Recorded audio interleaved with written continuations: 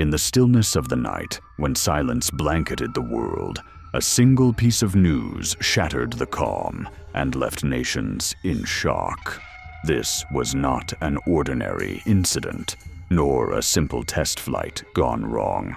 It was a moment that redefined the very foundation of air combat history.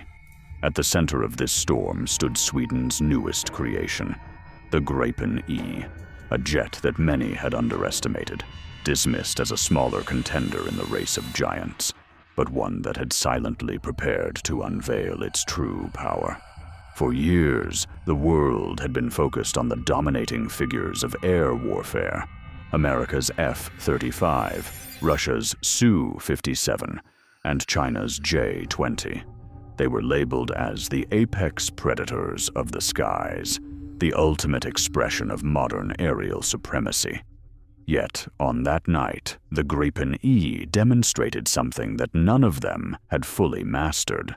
It wasn't just speed, stealth, or weapons. It was a fusion of intelligence, adaptability, and a kind of precision that seemed almost unnatural. Reports began to emerge from an undisclosed exercise where the Gripen E faced off against some of the most advanced fighters of NATO. What followed felt less like a war game and more like a glimpse into the future of air combat. Radar systems failed to lock onto the Gripen. Missiles that should have tracked it simply veered off into emptiness.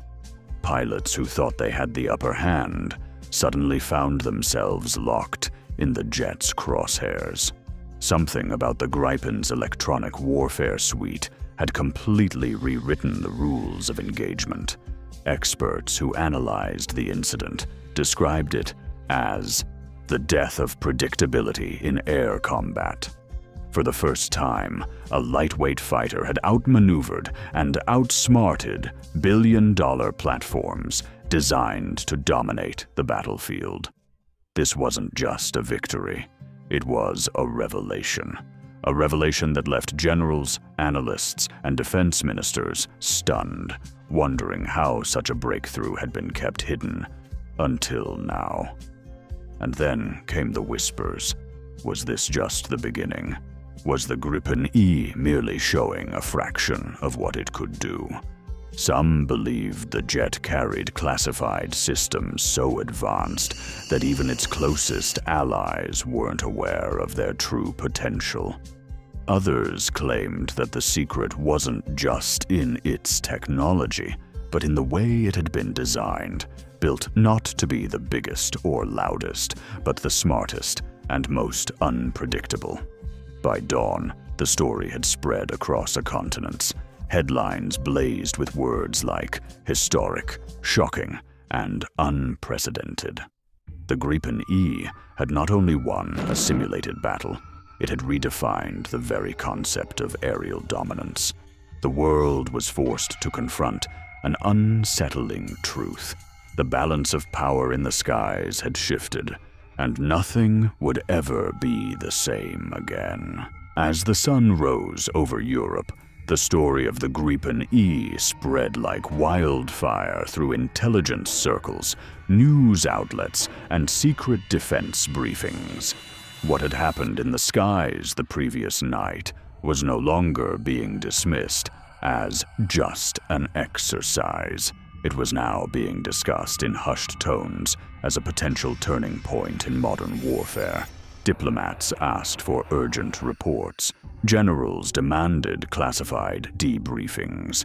Meanwhile, in Stockholm, Swedish officials maintained an eerie silence, as if they had been expecting this storm all along. The Gripen E was no stranger to controversy. For years, critics had called it the underdog, a jet too small and too light to stand against the heavyweights of the world.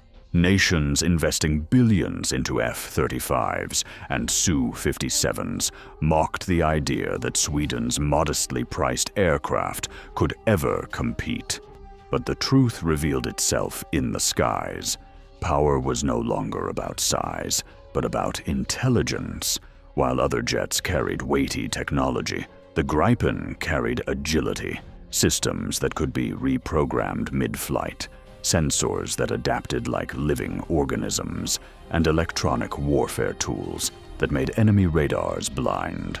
Witness accounts from the simulation painted a chilling picture. An F-35 pilot described the moment he realized something was wrong. His instruments showed nothing. His radar gave him silence.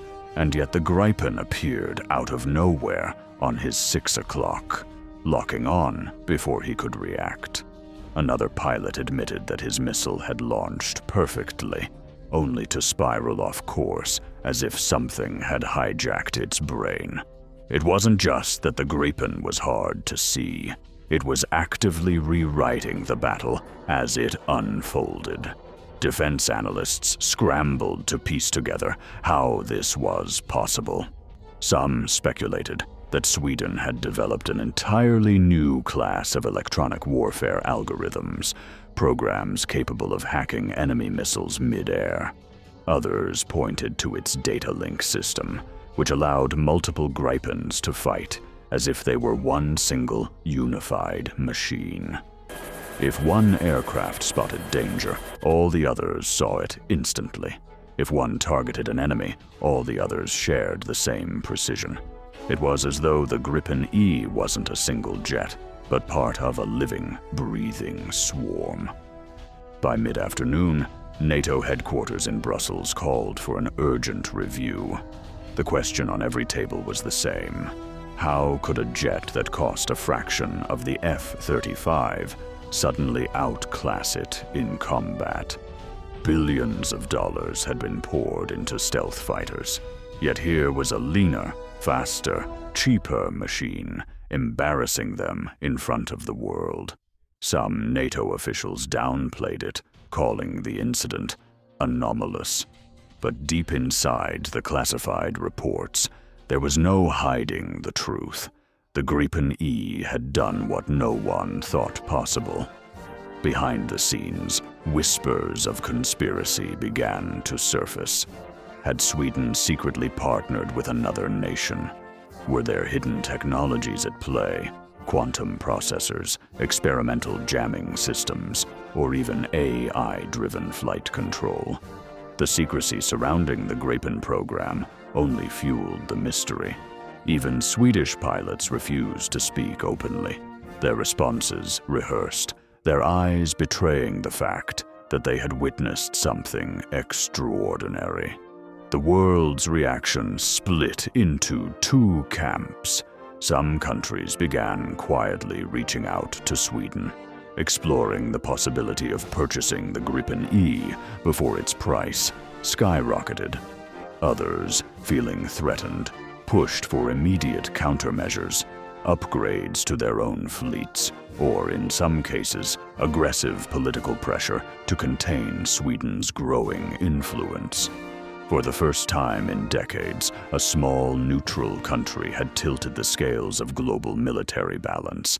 And then came the most unsettling detail.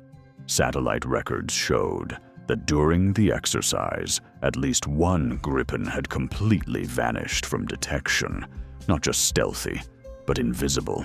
No radar, no infrared, no trace on any electronic system. It was as if the jet had slipped into another dimension and reappeared at will. Experts refused to believe it, labeling it an error, but the pilots who saw it firsthand knew otherwise. By evening, one thing was certain. The Gripen E had not only rewritten air combat, it had rewritten the future. Questions hung heavy in the air. If this was what the world had just seen, what else was Sweden hiding? Was this the peak of the Gripen's power, or only the beginning of a darker, more astonishing secret waiting to unfold? As the world waited for answers, one truth could no longer be denied. Air combat history had been reset. The old rules no longer applied, and the sky now belonged to the unexpected. Night descended once again, but the world no longer looked the same. Governments were restless, air forces unsettled, and military think tanks worked through the darkness, dissecting every shred of data they could gather about the Gripen E. Yet despite all the analysis, there was one detail they could not escape. The Swedish jet had shattered their confidence in the systems they once believed invincible. In Washington, a high-level meeting convened at the Pentagon. Generals, scientists, and intelligence officers sat in silence as classified footage of the Gripen's performance was replayed again and again. The expressions on their faces told the story. Shock, disbelief, and a creeping realization that billions invested in their fleet had been undermined by a jet that cost a fraction. One official whispered the unthinkable. If we face this in real combat, we will lose control of the skies. Meanwhile, in Moscow, the atmosphere was equally tense. Russian analysts compared the Gripen E's maneuvers to their own Su-57, a jet often advertised as the pinnacle of stealth and agility. Yet, the Gripen had moved with a ghost-like unpredictability that even the Su-57 struggled to match. Chinese military experts, too, watched nervously, realizing that their J-20, designed to dominate Asia, might already be outdated. Across the globe, an uncomfortable truth set in. The air dominance everyone had assumed belonged to superpowers was suddenly in question. But the mystery only deepened. Rumors leaked from inside Sweden suggested that the Gripen E that stunned the world wasn't even operating at full capacity. Some systems were deliberately disabled during the exercise to prevent revealing their maximum potential. If true, then the world had only witnessed a glimpse of what the jet could truly do. The thought alone was enough to make even the most confident nations reconsider their strategies. Journalists began chasing leads, and soon another layer of intrigue surfaced. Reports hinted at a hidden Swedish research program dating back decades, focusing on advanced signal manipulation and adaptive AI. Unlike other nations that poured resources into sheer size and firepower, Sweden had quietly invested in brains over brawn, systems that learned, adapted, and evolved during battle. It was whispered that the Gripen didn't just fly under human command, but alongside an artificial intelligence that could predict enemy behavior and counter it in real time. One pilot who allegedly flew the Gripen E under strict secrecy described the experience as flying with a shadow that already knows what the enemy will do before they do it. His statement was quickly buried, but the leak had already reached intelligence agencies worldwide. Was Sweden hiding a combat AI? And if so, had they just unlocked the next era of warfare where machines think faster than humans? As questions mounted, Sweden's silence became louder than words. No press conferences, no denials, no confirmations. The Gripen E's mystery became a psychological weapon in itself. Nations were forced to prepare for a jet whose limits they could not measure, a foe they could not predict. The impact was not limited to militaries alone. Global markets shifted, Defense stocks trembled as buyers questioned the worth of expensive programs like the F-35.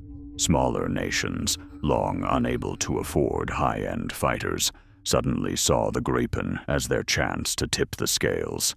Sweden, once a quiet, neutral country, had become the most courted power in aviation almost overnight. But hidden beneath all the chaos was a chilling possibility. Analysts noticed strange anomalies during the Gripen's flights, patterns in radar data that did not align with normal physics. It was as if the jet manipulated the very electromagnetic spectrum itself. bending signals in ways that shouldn't be possible with current technology. Some experts whispered about experimental quantum systems, others suggested classified propulsion tricks, and a few dared to ask if Sweden had uncovered something beyond conventional science. By the end of the week, one thing was undeniable. The Gripen E had not just rewritten air combat, it had forced the world to question the future of warfare itself. If a small nation could field such power, what other secrets were waiting to be revealed?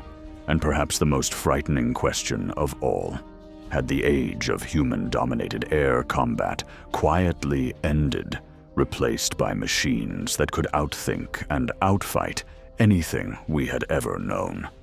The world remained in shock, nations scrambling for answers. But deep within Sweden, the Gripen E rested silently in its hangar, its secrets guarded, its potential still hidden, and its legacy already carved into history as the fighter jet that changed everything.